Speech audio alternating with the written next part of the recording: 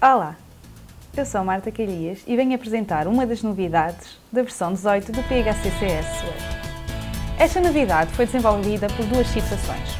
A primeira, as redes sociais são um fenómeno de sucesso. A segunda, a nossa caixa de, de e-mail está sempre subcarregada. Todos os dias recebemos centenas de e-mails.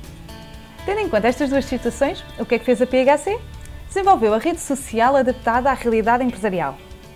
Vamos aceder ao menu Equipa e vamos criar, por exemplo, uma rede para recursos humanos.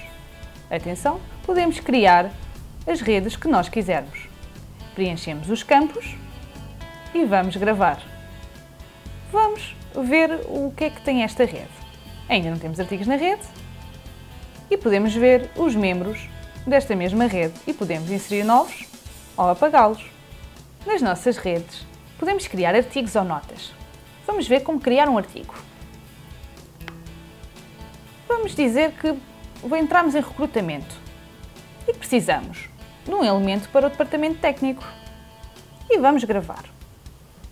O artigo que criarmos encontra-se já no topo e temos outros artigos, como a bola na Copa, Dia Mundial Sem Carros, e podemos ver que foi inserido um artigo na rede de novidades também sobre recrutamento.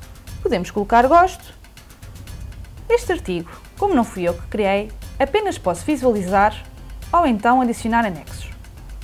Mas, naquele que foi criado por mim, já posso editar, alterar ou apagar este artigo. Vamos voltar ao outro artigo e vou colocar um comentário a dizer que, tenho, que conheço até alguém que está interessado nesta função. Já está aqui o meu comentário e ainda posso colocar um anexo. Escolho o fecheiro e ele já aparece disponível no artigo. E ainda há mais funcionalidades. Eu posso marcar este artigo para ler mais tarde. E assim, consoante vão sendo inseridos artigos e vão se perdendo na cronologia, este posso ver quando eu quiser. Este artigo sobre o Dia Mundial Sem Carros interessa-me. Vou colocar gosto. E vou colocar um comentário a dizer que também quero ir. Bora lá! Como podem ver, esta informação foi partilhada e ninguém trocou um único e-mail. Não perca as outras novidades da versão 18. Obrigada pela atenção e até breve!